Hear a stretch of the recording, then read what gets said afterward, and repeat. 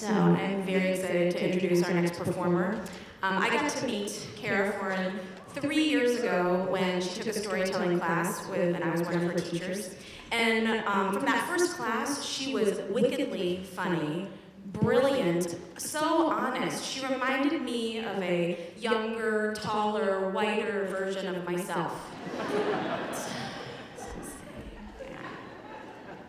But really, from the first time that I heard her telling stories, I knew that she would become a master at this, and it's no surprise to me that she was one of the top storytellers in 2014.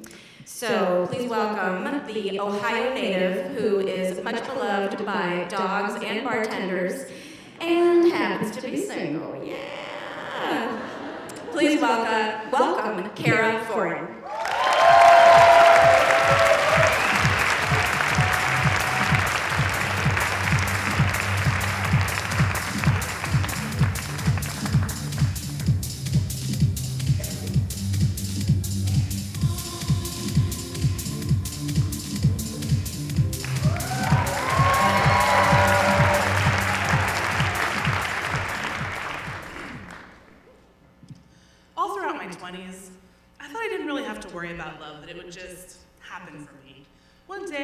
The right guy and just start hitting all those adulthood landmarks love, relationship, wedding, house, kids, couples counseling.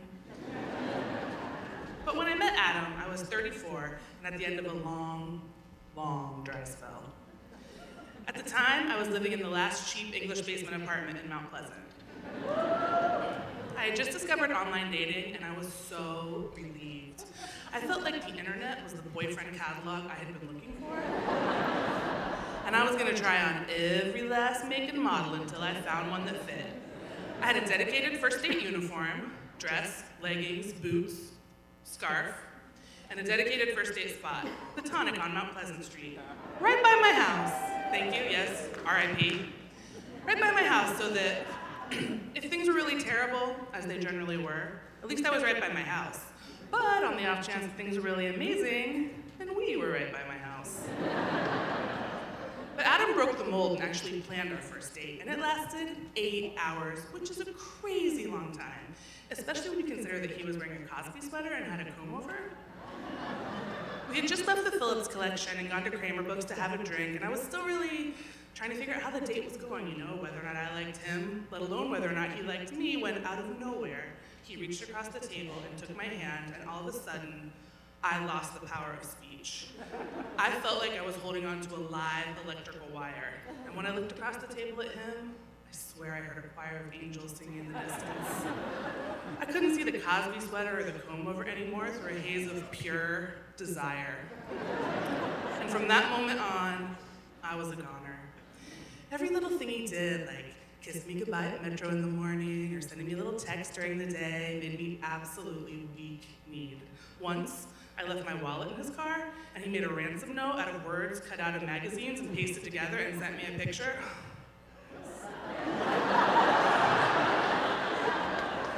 I thought it was the cutest thing that had ever happened in this galaxy.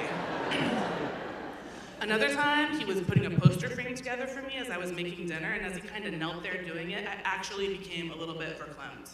And I had to stop what I was doing, and I walked over to him and put my hand on his shoulder, and I said, Adam, I think this is the most erotic thing I've ever seen.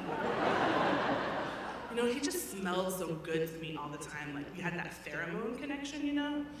And we had a lot in common too. We're just the same age, so we both like the same 90s music. We both like bad puns and nerdy humor. We even took the same antidepressant. You know, they say that in every relationship there's a gardener and a flower, and Adam was definitely a forlorn little flower when I met him, I just wanted to shower him with my love until he bloomed. I wanted to get my hands all up in his dirt and fluff it.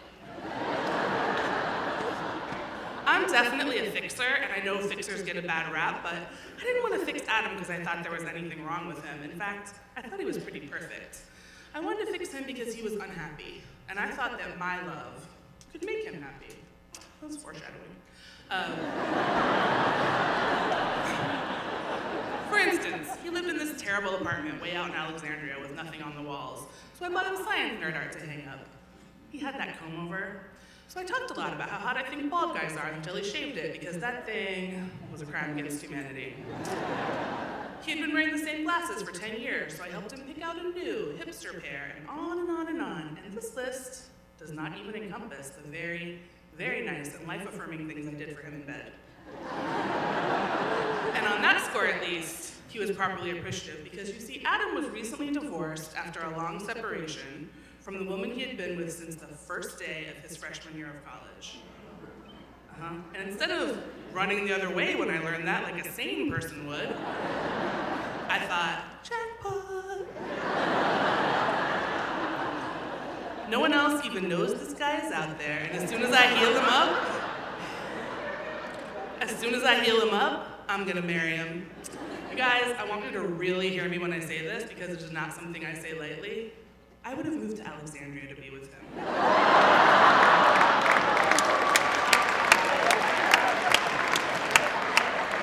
And I don't even mean Old Town, I mean like godforsaken Kingstowne, outside of Bellevue. but it turns out, it turns out that asking me for stuff wasn't really Adam's strong suit.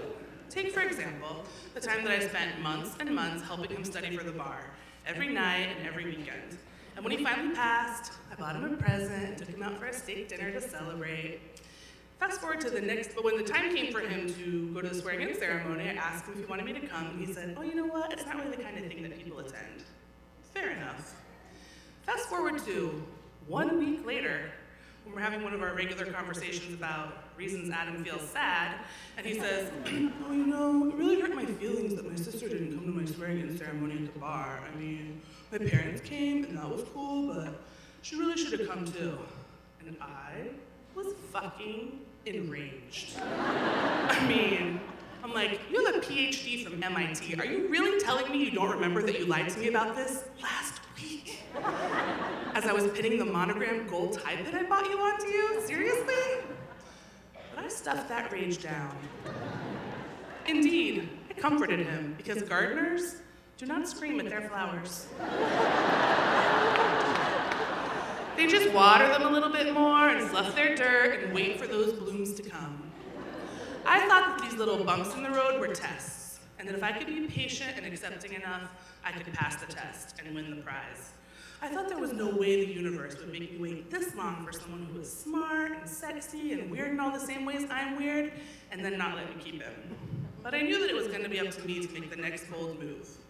I was going to say the thing that needed to be said after nearly two years together.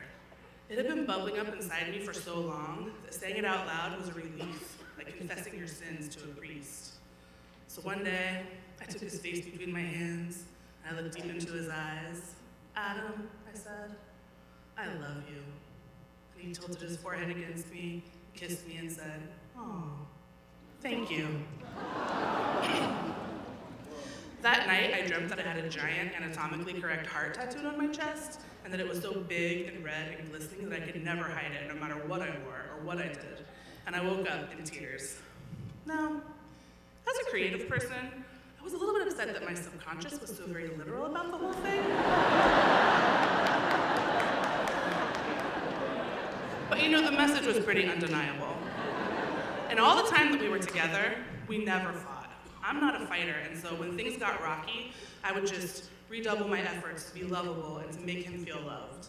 I always believed, I mean truly believed deep in my heart that if I could just find the right combination of lingerie, homemade beef stew, blowjobs, and giving him space, I could.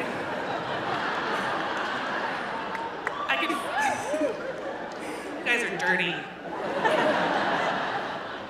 I could find a way to make all the pieces come together and the ultimate puzzle would be revealed. But the day after our I love you, I thank you conversation, Adam broke up with me. Really? You didn't see that coming? he said that he had really, really tried, really, really hard to love me, but he just couldn't. You know, like, I was a Billy bookcase from IKEA that he had tried to put together, but ultimately had to toss because he couldn't find the right size Allen wrench. And you know, as grown-ups, we're not supposed to dwell on these breakups like melodramatic teenagers.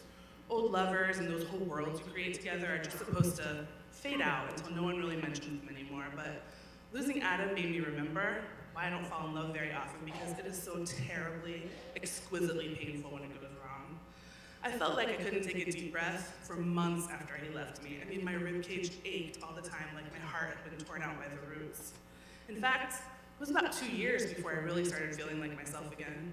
I had just bought a house, and maybe even started maybe even thinking about going on a date again when, out of the blue, one beautiful spring day, I get a notification from LinkedIn that I have a message from Adam. LinkedIn.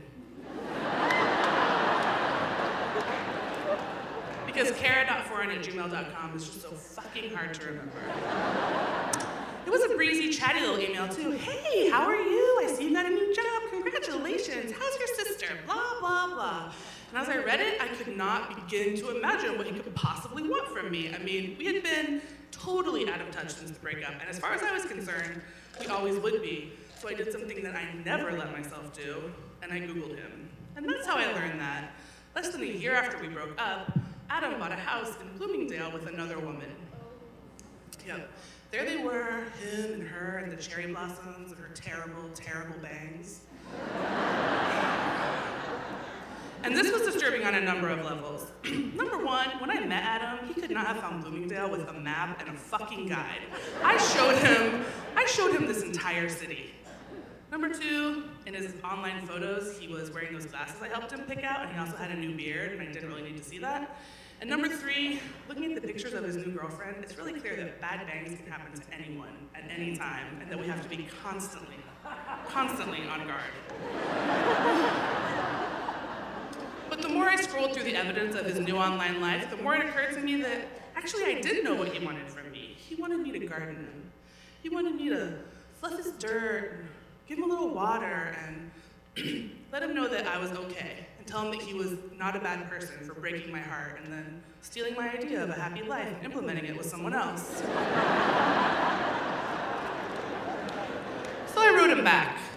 Um, Hey, Adam, I guess it's great that you bought a house with a blatantly vanilla woman that you clearly met five minutes after you left me, but I don't really need to know about it, you know? Like, hearing from you doesn't make me happy. Makes me think about all the time I wasted waiting for you to come around while my ovaries were still producing perfectly good eggs.